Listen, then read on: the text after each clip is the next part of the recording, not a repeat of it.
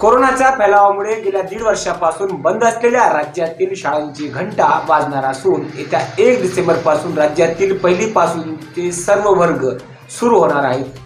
गुरुवारी झालेल्या रात्र राज्य मंत्रिमंडळाच्या बैठकीत याबाबतचा महत्त्वपूर्ण निर्णय घेण्यात आला आहे.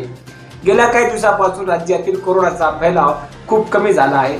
ग्रामीण भागाबरोबर शहरी भागातील कोरोनाची रुग्णसंख्या आटोक्यात आली आहे. अशा परिस्थितीत राज्यातील शाळांची पहिलीपासूनचे सर्व वर्ग सुरू करण्यासाठी ही वेळ अनुकूल असल्याचा अंदाज घेऊन राज्य शासनाने येणाऱ्या एक डिसेंबरपासून राज्यातील शाळांचे व पहिलीपासून वर्ग सुरू करण्याचा निर्णय घेतला आहे.